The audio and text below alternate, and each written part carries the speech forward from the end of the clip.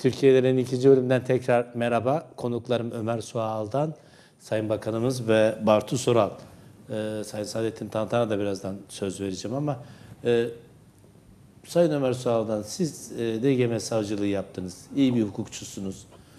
Şimdi e, Erdal Aksünger, Cumhuriyet Halk Partisi Genel Başkanımız, bu da e, şey Rıza Zarrab davası için enteresan bir laf söylemiş. Bu dava Türkiye'nin sopası olacak diye. E, yani Türkiye'ye yönelik bir sopa olacak anlamında e, bu e, kullanıyor bu Sayın Aksünger bunu. Daha önce şunu da söylemişti Sayın Aksünger. Eğer e, 27 Kasım'da e, Rıza Zarrab konuşursa Türkiye Cumhuriyeti'nin Cumhurbaşkanı ve Başbakanı yurt dışında tutuklanabilir diye. Yurt dışına çıkınca derdest edilebilir diye bir iddiası vardı. Ee, yani bizim diplomasi yazarı Zeynep'e sorduk onu. Ee, onun buna ihtimal vermediğini söyledi ama Ömer Elbeşir örneğini gösterdi. Yani onun yaklaşan sıkıntılarını söyledi. Böyle bir benzer bir uygulama olabilir dedi. Yani bir yanda NATO, bir yanda Rıza Zarrab, NATO'nun asıl sahibi Amerika. NATO'da böyle bir olay yani siz anlattınız ama gene NATO'nun komplosu da olsa Türkiye'ye yönelik bir şey. E, ciddi bir girişim. NATO Genel Sekreteri Stoltenberg e, e, Sayın e, Recep Tayyip Erdoğan aramış ve özür dilemiş. Benzer bir olayın yaşanmaması için tedbir alınacak demiş. Skandalın ilişkileri etkilememesini ümit ediyorum demiş.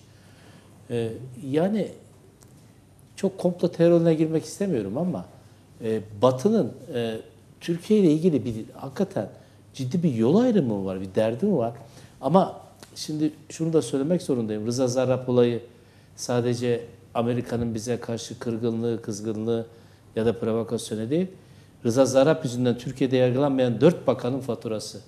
Bu dört bakandan sonra 17-25 Aralık'ın belgelerin ortaya çıkmasına rağmen kimsenin adım atmaması, savcılığa götürmemesi. Siz de savcılık yaptınız. Türkiye'de Rıza Zarrab aklansaydı, Amerika'da biz bunları belki de yaşamıyor olacaktık. Nasıl görüyorsunuz bu olayı? Bu e, 27 Kasım'da konuşacak mı? Tabii şimdi e, bu dört bakanla ilgili e, Türkiye Büyük Millet Meclisi'nde Cumhuriyet Halk Partisi adına son konuşmayı ben yapmıştım. İşte Yüce Divan oylamasından önceki. E, önemli bir konuşmaydı orada. Orada e, ısrarla dedim yani yargılanmalar lazım diye. E, Çünkü belli somut olgular ortadaydı zaten. Ve asıl hukukta en önemli şeylerden bir tanesi şudur. Eğer bir sanık tutuklamaya sevk edilip de tutuklanmışsa hakkında mahkumiyetine yeterli delil var demektir. Bir varsayımdır bu. Ve genel mesleki bir ilke olarak adalet müfettişleri denetime geldikleri zaman önce buna bakarlar. Bir savcının namusunu böyle tayin ederler. Yani derler ki hakkında tutuklamaya sevk edilmiş ve tutuklanmış bir kişi hakkında dava mı açmış yoksa kovuşturmaya yer olmadığına dair bir karar verip evrakı kapatmış mı? Eğer tutuklanmış sonra bir şekilde tahliye olmuş bir hakkında kovuşturmaya yer olmadığına dair karar yani takipsizlik kararı vermişse o savcı zayıf notu alır ve en kısa sürede sürülür. Ama bu şey öyle ilginç oldu ki bu 17-25 süreci şey tutuklandı. Ee, Rıza Zarrab ve işte bakan çocukları vesaire. Bunlar sayısız defa itiraz ettiler tutukluluklarına. Sayısız hakimin ve savcının önünden geçti bu dosyalar. Hepsi tutukluluk halinin devamına karar verdi. Yani onların içinde hepsi FETÖ'cü değildi ki. Yani sosyal demokrat hakimler de vardı, e, ne bileyim ülkücü hakimler de vardı, merkez sağdan olanlar da vardı. Hepsi yeterli kanıt görmüş olacaklar ki tutukluluk halinin devamına karar vermişlerdi. Buna rağmen öyle bir siyasi baskı oluşturdular ki e, Rıza Zerab ve arkadaşlar hakkında takipsizlik kararı verildi. El konan paralar kendilerine iade edildi. Dediğiniz çok doğru. O dört bakan Yüce Divan'da yargı, yargılanmış olsalardı, Rıza Zarrab olayı yargıya güvenip de adli süreci tamamlanan bir olay olmuş olsaydı, bugün Türkiye başka bir şey konuşacaktı. Belki adamlar beraat edecekti, bilemiyoruz. İşin şey noktasına gelince, Rıza Zarrab anlaşarak Amerika'ya gitti. O Aydınlık Gazetesi de onu manşet yaptı bugün. Ee, şöyle dedi Aydınlık Gazetesi. Çok önemli bir ayrıntı. Ben de üzerinde durmak istiyorum. Ee, şöyle bir e, Haydar arkadaşımdan rica edeyim. Şöyle bir göstersin şunu. Şöyle diyor. E, itirafçı olmak için ABD'ye gitti. Reza Zarrab'ın FBI ile anlaşarak ABD'ye gittiğini aydınlık ortaya çıkardı diye. Daha önce yayınları da vardı. ABD'ye gitmeden FBI ile anlaştı. Zarrab ABD ile resmen anlaştı diye. E, bazı bilgiler var. Aydınlık bu konuda iddiasını sürdürüyor. Yani siz de aynı şeyleri söylüyorsunuz. Yani acaba aydınlığın bu tespiti doğru mu? Şimdi şöyle söyleyelim. Öncelikle e, geçtiğimiz e, birkaç gün önceydi.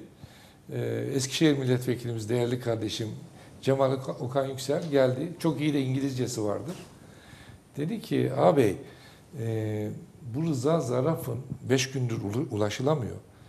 E, New York'ta bir savcılık sözcüsü açıklama yapmış. Onun hukuksal durumuyla ilgili kasti ifadesini kullanmış dedi. Ve onun üzerine biz e, onun çevirisiyle bir sonuca ulaştık. Hakikaten de e, Güney New York e, savcılık sözcüsü Nick Biase bir açıklama yapıyor. Ve o açıklamasında Rıza Zerrab'ın e, federal koruma altında olduğunu söylüyor. Tutuklu demiyor. Cezaevinde demiyor. Sonra başka bir açıklama daha geldi. Onda da e, ıslah evinde, cezaevine bağlı bir ıslah evinde diye açıklama yapıldı. E, ve bunun üzerine ben mecliste çıkıp bu konuyu açıkladım. Dedim ki muhtemelen Rıza Zarrab kesinlikle tanık koruma programına alınmış gibi görünüyor. Ve açıklama yapacak diye. Şimdi şöyle düşünelim. E, Amerika Birleşik Devletleri'nin ambargosunu açıkça delen, bunu yaparken Rusya'da yakalanan, çünkü Rusya'da adamları yakalanıyor Rıza Zarrab'ın. Ve Amerika'ya gittiğinde ağır bir suçla yüz yüze kalacağını bilen, çünkü bir sürü paraya hükmediyor, o daha 30'lu yaşlarda da olsa elbette ki bir yığın danışmanı vardır. Biri Amerika'ya niye gitsin? Eğer itirafta bulunmayacaksa, eğer can güvenliğinin sağlanması, belki kimliğinin değiştirilmesi, belki fiziksel özelliklerin değiştirilmesi gibi anlaşmalara girmeden niye gitsin? Çünkü 90 yılla yargılarında dışarı Tabii, çıkması 90 daha yılda mümkün yargılar. değil. Bir ikincisi Amerika'daki savcılar onunla yetinmediler. Babası ve kardeşi ve suç ortakları hakkında da dava açtılar.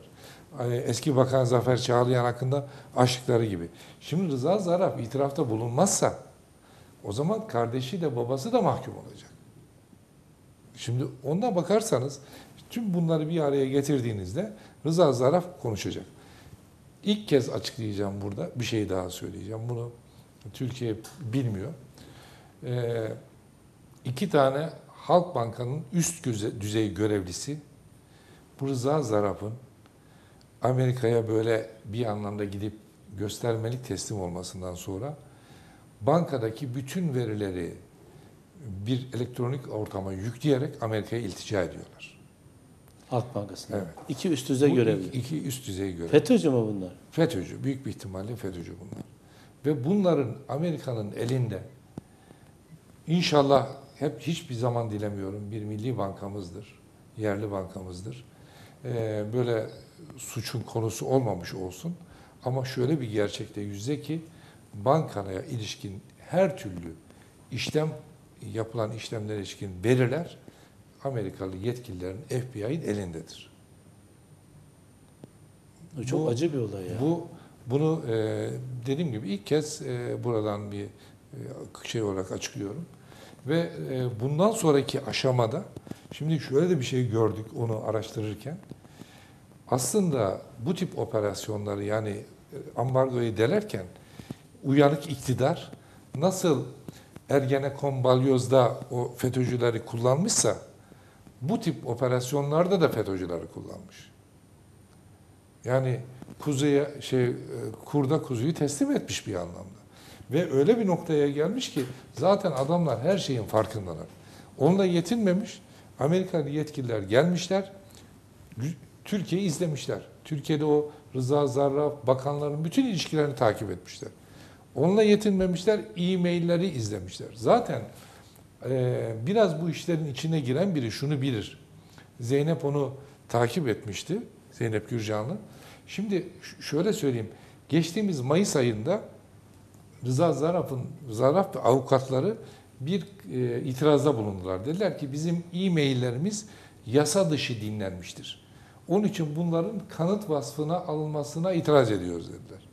Ama Mayıs ayında yapılan bir e, duruşmada Rıza Zarrab duruşmaya çıktı. Dedi ki ben bu itirazımdan vazgeçiyorum dedi.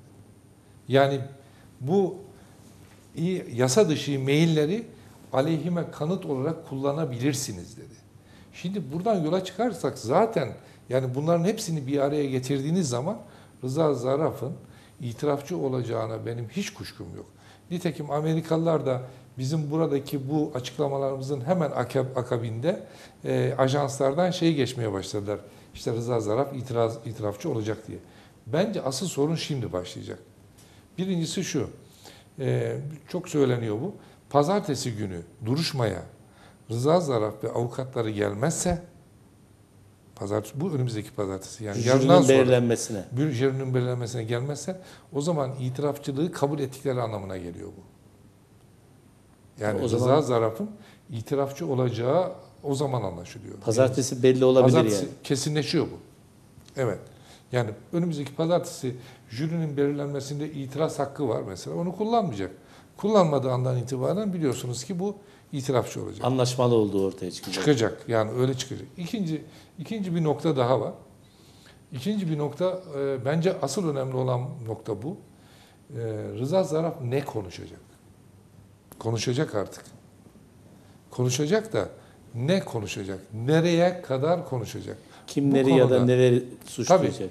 Eğer bu konuda uzun uzadıya mesela geçtiğimiz hafta Başbakanın apar topar Amerika'ya gitmesi, park bahçelerde boyuna gezinmesi, görüşme isteğinde bulunması ama yolculuğa çıkmadan önce ne hikmetse kendi çocuklarının offshore hesaplarının piyasaya sızdırılması. Bunların hepsini de yan yana getirdiğimiz zaman orada bir pazarlığın olduğu aşikar. İkincisi e, mesela şey bana çok anlamlı geliyor. E, bir İzmir'de bir şey var, e, papaz var. Kendisinin CIA elemanı olduğu söyleniyor ve gelecekte de CIA'nin başına geçeceği yönde de iddialar var. Bu tutuklandı FETÖ e, davasından. Hiç kimsenin sesi çıkmadı. Ama ne hikmetse Amerika Birleşik Devletleri İstanbul Başkonsolosluğu'nda çalışan bir Türk tutuklandı. Ortalık yer yerinden oynadı. Vize e, e, sınırlamaları falan getirildi. Şimdi işin o kişiyle de bağlantılı olduğu yani o kişinin Rıza Zarrab'ı şeye götürdüğü, Amerika'ya gönderdiği falan söyleniyor. Şimdi bunlardan yola çıkarsak hepsini bir araya getirdiğimizde sorun şu. O Bir, tutuklanan, İstanbul'da tutuklanan evet İstanbul'da tutuklanan kişi görevli Rıza Zarrab'ı yurt dışına yurt kaçırdı. kaçırdığı, götürdüğü söyleniyor. Anladım. Şimdi bir, birincisi şu. Şunla bu zamana kadar gelen e, verilerden Rıza Sarraf'ın konuşacağı aşikar gibi görünüyor. Öyle. İkincisi ne konuşacak? Şimdi dün AKP Grup Başkan Vekilinin bir açıklaması vardı. O çok çarpıcıydı bana kalırsa. E, kimin ne suçu varsa elbette cezasını çekmesini isteriz dedi. Şimdi bu şöyle bir ipucu var. Bir, iki- e, belli ki bir anlaşma olabilir. Yani Amerika her şeyi ifşa ettirtmeyebilir şeye Rıza Zarrab'a. Yani belli bir kısım banka görevlisi, bürokrat vesaireyle bu işi sınırlayabilirlerdi. Siyasilere gitmez diyorsun. Siyasilere gitmez. Yani bence e, önümüzdeki süreçte tartışmamız gereken o. Karşılığında Ve- Türkiye ne verecek Tabii. peki? O çok Mutlaka önemli. verilmiştir. O çok Yani- önemli. Eğer Ne istediler de vermedik diyen bir anlayışla karşı karşıya. Çünkü şöyle bir e, bunu önümüzdeki süreçte görürüz zaten. Yani mesela Suriye'deki politikada göreceğiz bunu. Irak'taki politikada göreceğiz. Yani bunu yakın zamanda göreceğiz hem de. Çok Yani uzatmadan. Amerika şunu demiş olabilir mi e, Sayın Vekilim? E, ben sana dokunmayayım, sana da dokunmayacağım. Ancak bana şunları ver, şu alttaki isimleri de bize yem olarak gönder. Ama bundan sonra benim adıma sen de şu bölgede, şu bölgede ya da Türkiye içinde şu operasyonları yapacaksın diyebilir mi bizim siyasiler? diyebilir. Eğer Bartu Bey biraz sonra anlat, biraz önce anlattı. Şimdi daha da e, belki kapsamlı anlatacak. Ekonomik olarak müthiş derecede dışa bağımlısın. Hiçbir şey üretmiyorsun. Genç işsizlik oranını tavan yapmış. Ee, toplumsal anlamda sosyal doku bozulmuş, uyuşturucu madde okullara kadar inmiş, mutsuz insan kitlesinin yığınla olduğu, her gün bir şehit cenazesinin toprağa verildiği bir ülkedeyseniz her şeyi yaparsınız. İktidarda kalma adında da bir anlayışınız varsa ne pahasına olursa olsun ben iktidarda kalacağım diye bir e, ruh hali içindesiniz. İçindeyseniz her şeyi yaparsınız. Ha, sonuçta iş dönüp dolaşıyor, e, milletimize düşüyor. Tabii e, onun iradesi daha ön plan çıkacak bu konuda. O artık yeter. Böyle bir, bir şeyleri vere vere e, nereye kadar gidecek diyeceği güne kadar. Peki teşekkür ederim. Sayın Bakan, e, şeyi demin söyledim. E, Erdal Aksünger'in sözünü yani şundan önemli benim için. iki noktada önemli. Birincisi bu dava Türkiye'nin sopası olacak derken hani hatırlıyorsanız Obama bir beyzbol sopasıyla fotoğraf çektirmişti Türkiye'ye gözdağı vermek için. E, Sayın Cumhuriyet Halk Partisi Genel Başkanımız onu söylüyor. Bu dava Türkiye'nin sopası olacak derken Amerika'nın sürekli Türkiye üzerine tutacağı bir sopa olacak diyor. Ve bunun karşında mutlaka Türkiye bir şeyler verecek ki siyasi iktidar bana dokunmasınlar diye diye. Şimdi bu noktaya gelen bir dava aslında önemli bir dava. Demin de söyledim hem Türkiye'nin ulusal çıkarları açısından önemli bir dava hem de uluslararası çıkarları açısından önemli bir dava. Şimdi birinci soracağım bu bir sopa mı? İkincisi yine Aksünger iddiası var. Türkiye Cumhuriyeti'nin Cumhurbaşkanı ve Başbakanı yurt dışında tutuklanabilir eğer 27 Kasım'da zarrab konuşur ve suçlarsa dedi. Bu olabilir mi? Fatih, Fatih Bey yani şimdi şöyle bakmamız gerekiyor. Bir kendimizi sorgulamamız lazım. Ya buraya biz nasıl geldik? İktidar ve muhalefet kendisini sorgulayarak Türkiye Cumhuriyeti Devleti'ni bu konuma kim ve nasıl getirtirdi? Bunu sorguladığın zaman suçun bizde olduğunu göreceksiniz. Konu Rıza Zarf o kadar önemli gibi gözükse de öyle takdim edilse de Türkiye, Türkiye yönetenleri ne kadar cahil, ne kadar bilgisiz, ne kadar devlet aklından uzak olduklarını görüyorsunuz. Yani bu tip faaliyetleri yürüten Batı ülkelerinde böyle bir sürü ülke var. Ceza almış ülkeler de var yani baktığın zaman Almanya'sından Fransa'sına kadar bankalar ceza aldılar. İran'la ilgili ambargoların delinmesinden dolayı. Amerika dünyanın her tarafında bunları yapıyor. Ama bunu yaparken de devlet yok ortada. A var, B var, C var. O, o şey olunca da o tasfiye oluyor. Bu şu- şu anda dünyadaki bütün ülkeler bakımından değerlendirildiğinde her ülkede suçun derebeyleri gidip kendini canını kurtardığı yer neresi? Amerika Birleşik Devletleri. Niye oraya gidiyor? Çünkü çok büyük serveti var. Yerel bazda kalsa orada şeyle karşı karşıya. Can korkusuyla karşı karşıya. Amerika'da bir parça herkese adreslerinde, servetinde bir miktar oraya aktarırsa otomatik olarak orada yaşama şansı daha yüksek bir konumda. Orada ya, usulen yargılanacak, şey olacak, sonra serbest kalacak. Biz olayları iyi değerlendirmemiz gerekiyor. Şimdi biz Rıza Zaraf olayındaki yaptığımız yanlışlardan, MİT yanlışlardan dolayı ders çıkaramayan, birbirini suçlayan bir siyasi zihniyetle Türkiye uçuruma doğru sürükleniyor.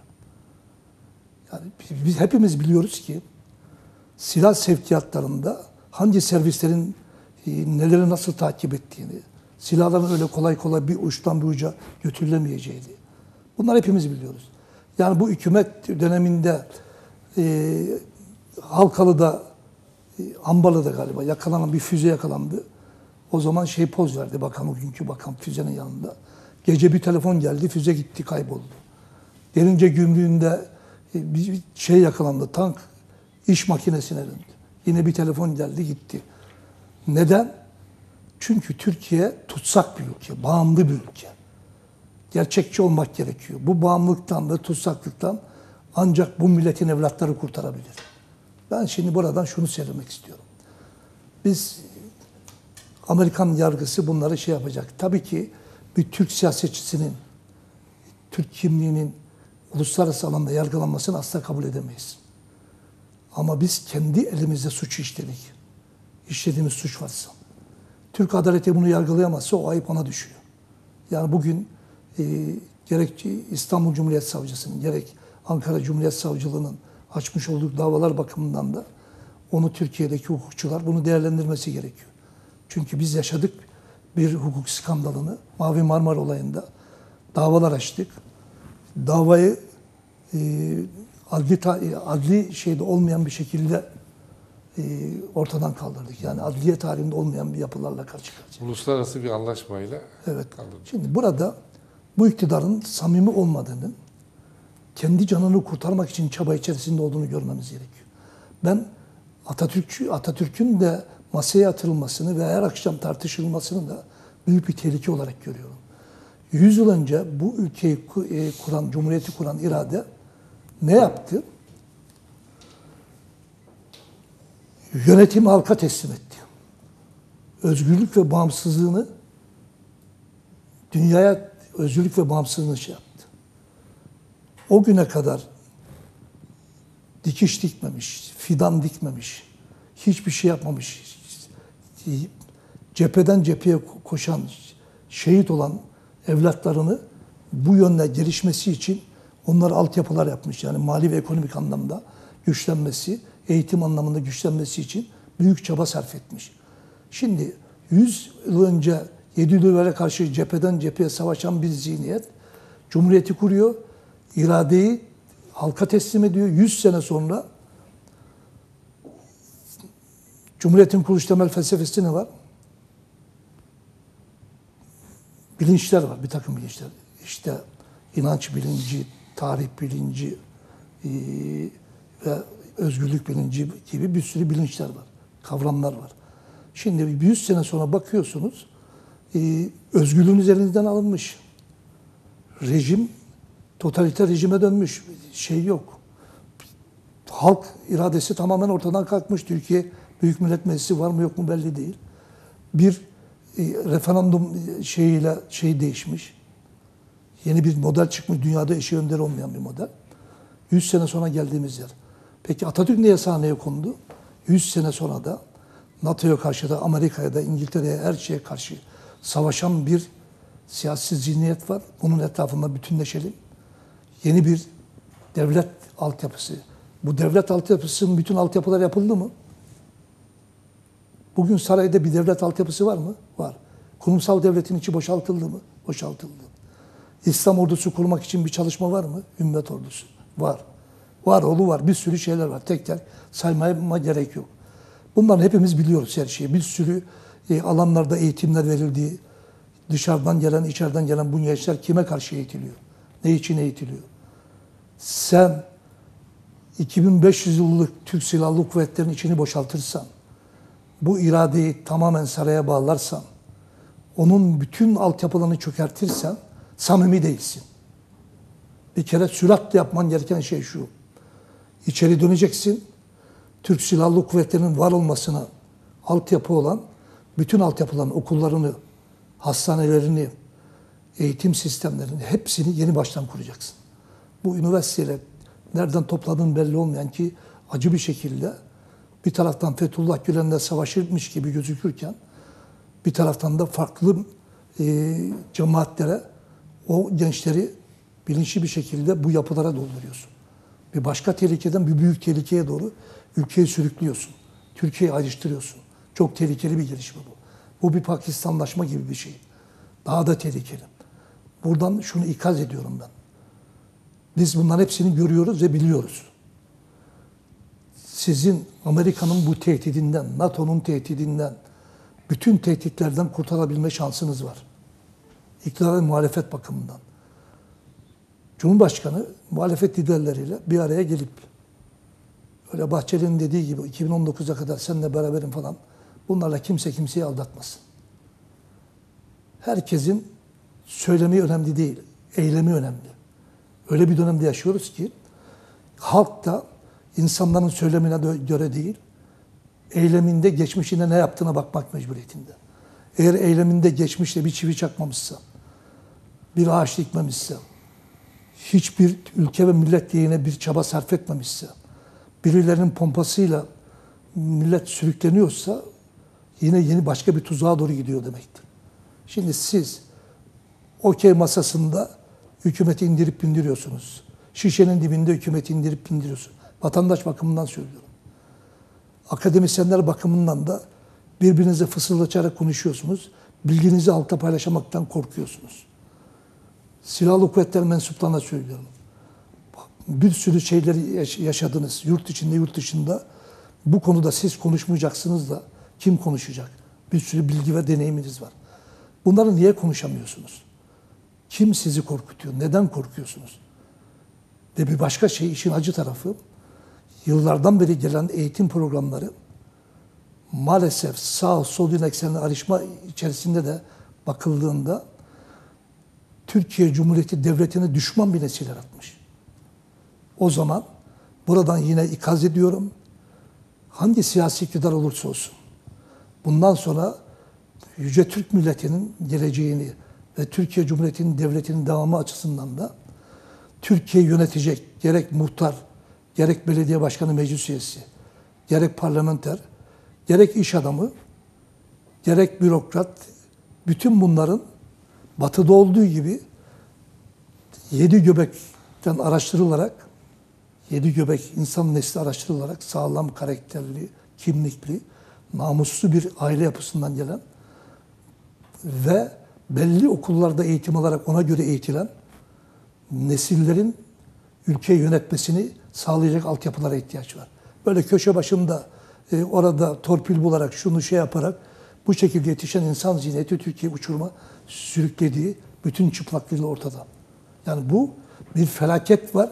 Bu felaketi önleyecek e, biz proje üretmemiz gerekiyor. Yani ben şimdi e, söylemlere bakıyorum. Hep günlük gündemi değiştirmek üzere kurgulanmış söylemler. Şimdi siz e, ben yer, yer, yerelleşiyorum. İşte silah ben üreteceğim, şunu ben üreteceğim. Peki Sayın Cumhurbaşkanı size sormazlar mı? Sarayınızdaki bütün çi- çiçekleri, ağaçları yurt dışından ithal ettiniz. Halbuki Türkiye son 15-20 20 yıldan bu yana yurt dışına ürettiği süs bitkilerini, ağaçlarını satar konuma gelmiş vaziyette. Hollanda'dan, İtalya'dan örnekler alarak büyük bir gelişim şey yapıldı. Şimdi siz bunları Büyükşehir Belediye'niz oradan almıyor, yurt dışından. Dikeni bile yurt dışından getiriyor. Ben belediye başkanlığı yaptığım için İstanbul Büyükşehir Belediye Başkanlığı'ndaki bu yurt dışından gelen bütün şeyleri bil- bilen bir kişi olarak ifade etmek istiyorum. Hala daha yurt dışından diken bile getirmeye müsaade ediyorsan o zaman bu üreticiye nasıl destek sağlayacaksın? Yani siz kredi garanti fonuyla bir takım şeylere e, işte COBİ'lere falan destek vermek için şeyler sağlıyorsunuz. Peki pastayı büyütmek mi istiyorsunuz? Pastadan pay kapmak için birinden Urfa'yı mı dağıtmak istiyorsunuz? Ben görüyorum ki pastayı kapmak için bir savaş veriliyor. Ama pastayı büyütmek istediğiniz zaman ona göre teşvik sisteminizi, denetim sisteminizi, projenizi belirlemeniz gerekiyor. Yani et ithaline kadar insanları mahkum etmişseniz, ülkenin beka sorunu var diyorsanız, beka sorunu sizin bekanız mı? Halkın bekası mı, bireyin bekası mı, devletin bekası mı? Halkın bekası yok olmuş vaziyette. Samanı dışarıdan ithal et. Eti dışarıdan ithal et. Ana vatanı Türkiye olmasına rağmen hububatın büyük bir bölümünü dışarıdan ithal et. Çiçeği, şunu bunu dışarıdan ithal et. Başka ne, ne yapacaksınız? Demek ki halkın da yaşama beka nedir? İnsanın özgürce yaşayabilmesi, yemesi, içmesi, yatması güvenli. güvenli. Bunu bile sağlayamıyorsunuz. O zaman kimin bekasından bahsediyorsunuz? Demek ki sizin iktidardan düşme korku bekanız var. Ama ben size diyorum ki halka geri dönerseniz, bütün gerçekleri halkla pay- paylaşırsanız, o gece gündüz televizyonlarda bu milletin beynini yıkamak üzere kurguladığınız o kişileri halkın önünden uzaklaştırın. Bir gerçek var ki bunların hepsi gelecekte yargılanacaktır. Hiç kimse kaçamaz. Çünkü sürat, süratli bir şekilde insanlar kendi kendilerini de sorgulanmaya başladı. Herkes sorguluyor artık. Nereye gidiyoruz diye. Olumlu gelişmeler var. Siyasetin kirliliği ve kimliksizliği de e, artık bütün çıplaklığıyla ortaya çıkmış vaziyette. Adalet ve Kalkınma Partisi'nin Türkiye'yi çökerten bütün bu yaklaşımlarına baktığımızda eğer iktidar değişemiyorsa, değiştirilmiyorsa o zaman şunu sorgulamamız lazım. Bir taraftan NATO'yu e, yani bütün e, Türkiye'ye yönelik ikili anlaşmalar, uluslararası anlaşmalar, her türlü anlaşmalar bakımından arşivler değerlendirildiğinde özellikle Türkiye'nin ihtiyacı olan altyapıları yapmayan, bir Türkiye Büyük Millet Meclisi buna katkı sağlamayan ve iktidar bunu yapmıyorsa e, neye bakmamız gerekiyor? 15 yıllık iktidarda Türkiye ne kazandı ne kaybetti. Enerji savaşlarında kaybetti. Mali ve ekonomik savaşta Türkiye kaybetti işte. Dışarıdan kredi bulamıyoruz. Varlık fonunu çıkarttık, kabul görmedi. Altını e, altını şey yapmak istedik. Garanti vermek için, para bulmak için. O kabul görmedi. İslami bankacılık kabul görmedi. Osmanlı İmparatorluğu'ndaki İslami bankacılık farklı, sen uygulamaya soktuğun farklı. O da kabul görmedi. Şimdi çırpınıyorsun nasıl olacak diye. Ben de diyorum ki bütün bunlar aşılabilir. Nasıl aşacağız? Hep beraber aşacağız. Bütünlüğü, birliği sağlayacak olan kimdir? Tepeden aşağı kadar Cumhurbaşkanından başlayarak seferberlik başlatmamız lazım. Birinci şekilde tasarruf seferberliği, üretim seferberliği. Yani bilgi, paylaşım seferberliği. Bilgi, gerçek bilgiyi halkla paylaşacaksınız. Halkı bilinçlendireceksiniz.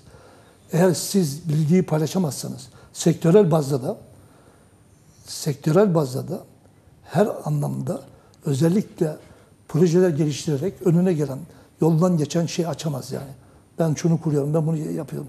Zaten Türkiye'nin milli sermayesi son derece kısıtlı. Evet. Bütün bunları dikkat almamız gerekiyor. Ben Rıza Zaraf konusunun bizim için o kadar şey de, deme, dememin nedeni şu. Biz büyük bir tehlikeyle karşı karşıyayız. Kaosla karşı karşıyayız. Zaten Adalet ve Kalkınma Partisi de şunu pompalıyor. Eğer ben iktidardan gidersem bu Türkiye batar diye. Böyle bir şey yok. Bu milletin yetişmiş insan gücü 100 tane Türkiye'yi yönetebilir güçte ve kapasitededir. Bugünkü tutsak bir siyasi yapıyla Türkiye'nin önü tıkalı gözüküyor. Ama bu milletin asli evlatları, asli unsurları sahipleri mutlaka bir gün ortaya çıkıp ülkeye el koyacaktır. Yani onlar hukuk zemininde, seçim zemininde yani şeyde değil, e, öyle e, farklı bir zeminde değil. Ama bütün herkes bu konuda e, hareket halindedir. Yani insanları öyle de değerlendirmemiz gerekiyor. Türkiye sahipsiz değil diye bakmamız lazım. Teşekkür ben onun için de şu anda özellikle iktidar ve muhalefetin, halkın, iktidar sahiplerinin, Türk Silahlı Kuvvetleri'nin iktidar tarafından düşürtülmüş olan içteki ve dıştaki itibarlarını yükseltmek mecburiyetinde. Saygın konuma getirmek mecburiyetinde. O bir kurumsal yapıdır ve 2500 yıllık bir devleti kuran bir kimliği ifade etmektedir. Eğer siz bunu yapmazsanız, sarayda bir takım oluşumlarla Türkiye'yi farklı noktalara çekmek için bir zihniyet içerisindesiniz vazgeçin. Geri dönün. Biraz zamanı fazla kullandım herhalde. Evet teşekkür ederim Bakan. Yok iyi oldu. Ee, hemen Bartu Soral'la devam edelim. Ee, hem Sayın Bakan hem Sayın Vekil dedi ki e, Türkiye bir anlamda bir açmaz içinde, bir çöküm, çökme içinde. Yani Türkiye'nin iş ve dış borçlarından siz bahsettiniz. Yani bir kapitülasyon dönemi gibi Türkiye'de bir sıkıntılı dönem var. 150 milyar dolar ya da 180 milyar dolar benim bildiğim kadarıyla değil mi? Her sene bulmak zorunda olduğumuz para. Toplam ihracat 149 milyar dolar. Yani tüm ihracatı verseniz bile bir yıllık borcunuzu karşılamıyor. Karşılamıyor. Peki e, bu tür bir bağımlılık, ekonomik bağımlılık e, bir süre sonra ülkenin anahtarını hani Osmanlı döneminde olduğu gibi kim para verdiyse ona teslim etme noktasına doğru sürüklemeyecek mi bu ülke? E, sürükler tabii ki. Mesela ben size buradan izninizle biraz da e, rakamlarla Tabii tabii. e, bilgi vereyim istiyorum. Çünkü oldukça çarpıcı. Bakın mesela 2002 yılında hane halkının borcu, yani hane halkı vatandaşın e, işte kredi kartı, işte e, araç kredisi, konut kredisi falan toplam borcu 6.6 milyar TL'ymiş 2002'de. 2016'ya geldiğimizde bu borç 440 milyar TL'ye Çıktı. ulaşmış. Tamam. Ee, şimdi ben bazen bunu söyleyince AKP'ye e, gönül veren vatandaşlar ya diyorlar ama Türkiye çok büyüdü. Türkiye 3 katı e, büyüdü. O büyüme içinde bu rakamlar doğru değil. Siz bize diyorlar bunu milli gelir içinde yüzdesel olarak verin bakalım. 2002'de kaçmış? 2016'da. Ben de onun üzerine araştırdım. 2001'in birinci çeyreği itibariyle hane halkı borcunun milli gelire oranı %3.4. 2017'ye kadar milli gelir işte 3 katı 4 katı büyüdü büyüdü. Biz bekliyoruz ki hani halkı borcu hala %3.4'te 5 4'te falan kalsın. Hayır. %17.8'e ulaşmış vatandaşın kredi kartı, e, konut, araç, ihtiyaç kredisinin toplamının milli gelire oranı %17.8'e bakın %3.4'ten o büyüyen milli gelir içindeki yüzdesi %17.8'e büyümüş. Ama esas başka bir tehlike var. Reel sektör, finans dışı yani bankalar haricindeki şirketlerin borcu. Bakın 2002 itibarıyla reel sektörün bankalardan aldığı ticari kredi borç toplamı 41 milyarmış 2002'de 41. 2016 sonunda bu borç 1 trilyon 204 294 milyara gelmiş. 1 trilyon 294 milyar reel sektörün şu anda kredi borcu var. Yine AKP'ye e, gönül veren vatandaşlara bilgi verelim. Yüzdesel e, buyur. Evet. Dolar olarak merak ettim onu. Kaç dolar? Hayır, bir hayır. Bu 1 trilyon Yeni parayla mı? 294 milyar TL bu parayla. Yeni para. Yeni Oo, para. çok büyük para o 1 zaman. trilyon 294 milyar. Bakın ben size e, yüzdesel olarak da söyleyeyim. Buyurun, 2001'de şirketlerimizin reel sektörün borcunun milli gelire oranı %26.9'muş. 2017 ikinci çeyreğinde %69.8'e çıkmış. Yani neredeyse milli gelir kadar bir yüksek borç var reel sektörde. Bitmiyor. Bir de finansal sektör var. Bankalarımız bankaların borcu 2001'de reel e, milli gelire oranla %50.6'ymış. 2017'nin ikinci çeyreğinde bankaların borcu %94.8'e yükselmiş. Yani milli gelirin kendisi kadar bir borç. Toplam borcumuz şu anda milli gelirin %211.6'sı. Bakın bu borç rakamı tek başına Sayın e, milletvekilinin de, sayın bakanımızın da söylediğini tek başına veri olarak veri ispat ediyor. Yani siz bağlanmışsınız. Diyeceksiniz ki bir tehlike daha var gördüğüm, onu da söyleyeyim. Finansal sektörün borcunu e, demiştim ki size yüzde 94.8 milli gelirin yüzde 94.8'i döviz olarak bankalarımızın borcu yüzde 69.2.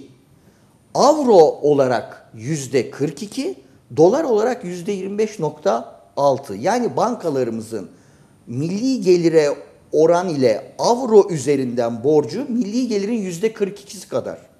Yüzde 25.6'sı dolar, toplam döviz yüzde 69.2. Şimdi bankalar bu parayı topladı ne yaptı? Hane halkına borç verdi, ticari işletmelere borç verdi. Ticari işletmeler ne yaptı? Aldığı fabrikalar kurdu diyebilsek sorun yok. Ama aldı ne yaptı? İthalatı büyüttü. Her sene dış ticaret açığı büyüdü. Ben size mesela izninizle dış ticaret açığını ne kadar büyüttüğünü de söyleyeyim. Karşılaştırma maksatlı 1992 2002 ile 2003 2013'ü 11 er, e, yıl. 1992-2002 arası 11 yılda Türkiye toplam 169 milyar dış ticaret açığı vermiş. 2003-2013'te Türkiye toplam 687 milyar dolar dış ticaret açığı vermiş. Ne dedim? Bir ithalat cennetine dönmüş. Yani hane halkı borçlanıyor. Hane halkının e, hane halkı borcuyla kredi kartı, borcu, inşaat, inşaat alıyor. O inşaatın yapım malzemeleri ithal. Türkiye'de sanayi üretiyor. Sanayinin ham madde ve ara malı ithal. Türkiye'nin en büyük ithalatından birisi yani bu dış ticaret açığının çıkmasının sebebi doğalgaz ve petrolde yoksun olmamız. Ama çare var. Doğal ve petrolü olmayan ülkeler eğer ki bizim kadar doğa açısından zenginse güneş ve rüzgar enerjisini kullanıyorlar. Örneğin İspanya toplam enerji üretiminin yüzde 25'ini bu yenilenebilir enerjiden kullanmış. Türkiye'de iyi gidiyor yüzde bir. Şu zenginliğe, şu kadar güneşe, rüzgara biz mesela bir güneş enerjisinde dünya devi olma planlamasını yapmıyoruz. Halbuki çok basit yapmamız gereken şey çok basit. Petrolüm yok, doğalgazım yok, enerji, elektrik üretmem lazım ama güneşim var, rüzgarım var. O zaman ne yapayım? Güneş panellerini Türkiye'de üretecek dev işletmeyi kurayım. Özel sektöre teşvik vereyim. Ben kurmam. O zaman kamu sektörü kurar. Ortaklı kurabilir.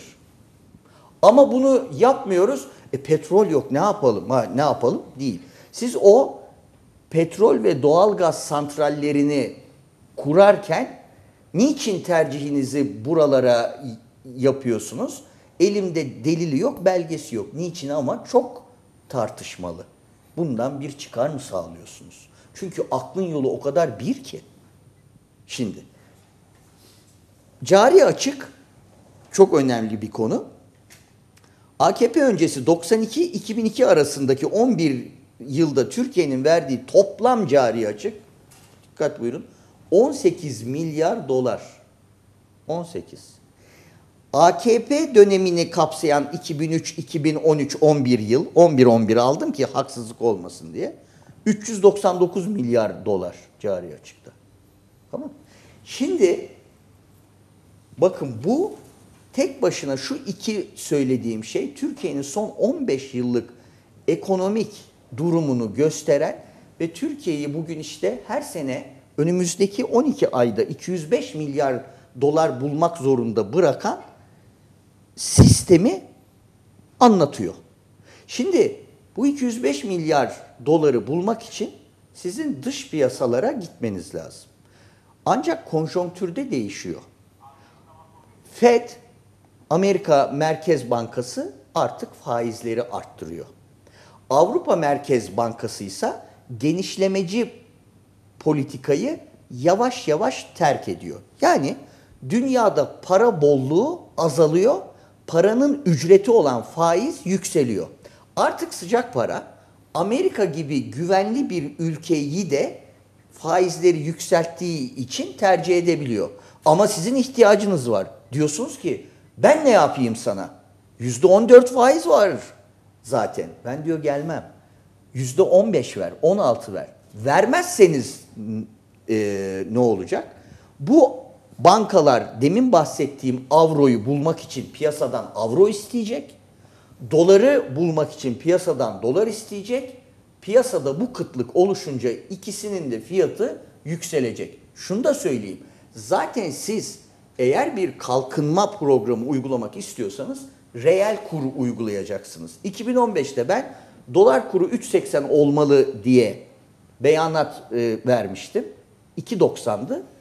3.80 oldu. Ben reel olması e, gereken yeri söylemiştim. O kadar. Şimdi reel olarak olması gereken yer 4.85 aralığı. Yani siz ancak bu aralıkta dış ticarette rekabet sağlayabilirsiniz ama yetmez. Neden? Çünkü teknolojiye dayalı üretim yapmak zorundasınız bir. İki, demir, çelik ve petrokimya çok önemli. Türkiye'nin petkimi var. Petkim gibi en az iki petkim daha kurması lazım. Özel sektörde bu kadar sermaye yok çünkü bunlar 10-15 milyar dolarlık dev yatırımlar. Ama küresel rekabet bir okyanus. Okyanusta kobilerle yani takalarla rekabet edemezsiniz. Size transatlantik lazım. Transatlantik de büyük işletmedir.